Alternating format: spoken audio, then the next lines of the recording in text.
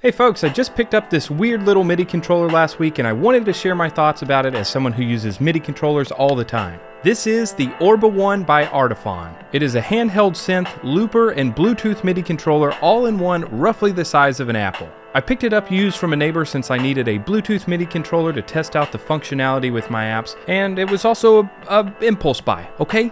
Are you happy now? Apparently the Orba got its start from Kickstarter, which I always think is pretty neato. Everything about this device is unique, but another unique thing about this device is that it comes with four instruments. Drums,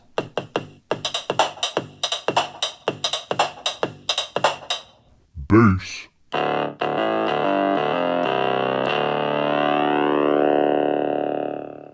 chords,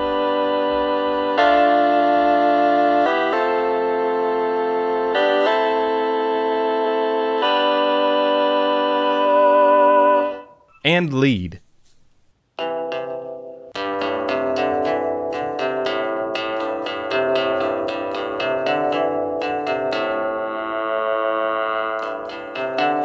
Let me show you around the place. On the side you'll see we have our volume control, power button, USB-C port, and a headphone jack. On top there are 8 touch sensitive pads. Each pad corresponds to different notes or chords in the key of C. You play them by tapping or sliding across the pads. There is haptic feedback whenever you play a note so it shakes in your hand a little bit. And it also has a nice weight which makes it feel like a sturdy device. That might not seem important but I know even like the old Beats headphones used to have weights added in there just so it felt like a more substantial piece of electronics. The top top is just one piece of molded plastic, and I guess it's thin enough that it just doesn't have any trouble sensing the touch through it. If you tilt the device, it has the same effect as turning the mod wheel on a MIDI controller.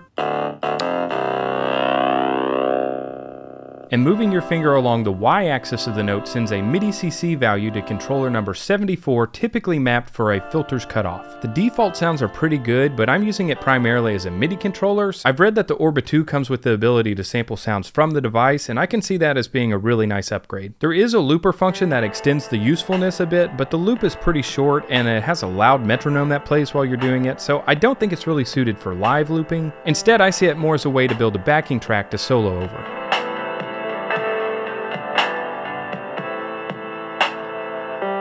So here are the pros and cons I see with this device. First off, I'm just glad that this device even exists. It doesn't follow the normal conventions of MIDI controllers. We need more music tech that takes risks and innovates, and this definitely does that. First off, it's fun to play. Straight out of the box, I turned the device on and just started making music. It really works for any skill level. I was having fun making loops with it, and then my six year old daughter stole it from me, and she had fun playing with it too. Boundaries. And since it's so compact and portable, you could really just pick it up and start playing music anytime you feel inspired. Another pro is that it looks cool. I could see myself making videos with this device just for the aesthetic. I know that seems kind of weird, but it's one of the things that makes this device so appealing in the first place. It looks cool. The last pro is that it uses Bluetooth MIDI. If you create music on mobile, then the dongle situation for iOS is confusing at best and infuriating at worst. So having it connect wirelessly is a nice addition, and it's one of the main reasons I picked up the device in the first place. If you're using this with a mobile app that supports MIDI over Bluetooth, connecting the device is very simple.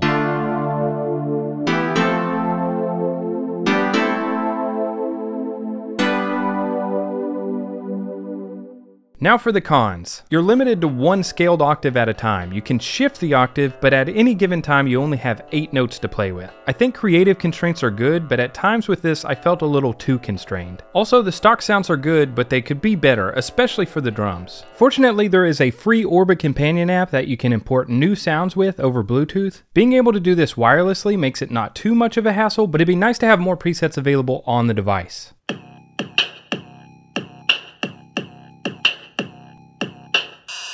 I really don't know if most users would be playing this as a standalone device or using it as a MIDI controller, but if you are just using the built-in sounds, then you might be better off getting the Orba 2 so you can do all the sampling stuff on the device. But then again, if you're just looking for a good portable sampler, then maybe you might just download an app like Koala Sampler. And the last con for the Orba is just that it is competing at a very competitive price point if your primary use is as a MIDI controller. The Orba starts at around $100 and the Orba 2 is $150. At that price, you could get a decent entry-level Arturia MIDI keyboard or a Novation Launchpad, although controllers with Bluetooth do tend to cost a bit more. So if you're looking for picking up your first MIDI controller, I'd still recommend getting a keyboard or MPC style device. But if you're looking for something a little bit quirky and different that is easy to use and makes sounds straight out of the box, then the Orba might be right for you. I think I kind of love this thing, and maybe we'll revisit the Orba in a future video to see how much I actually end up using it. The Orba does have some mixed reviews online, so Google it and read through those before purchasing. I only tested the companion app and Bluetooth connection on iOS, so it might work differently on Android and Mac OS. Bluetooth MIDI isn't supported on Windows, so you'll need to use the USB-C cable for that. I'll link to the Orba manual in the description and pin comment where you can learn more. Sound off in the comments, let me know what you think about the Orba, or if you have any MIDI controllers that you really love. I've been using the Arturia Keylab 49 for the past year, and I'm going to do a review on that soon. If you'd like to make your own MIDI controller, I'll put a tutorial on the screen of how I made a cigar box arcade style MIDI controller. Thanks for watching, be sure to like and subscribe, and I'll see you all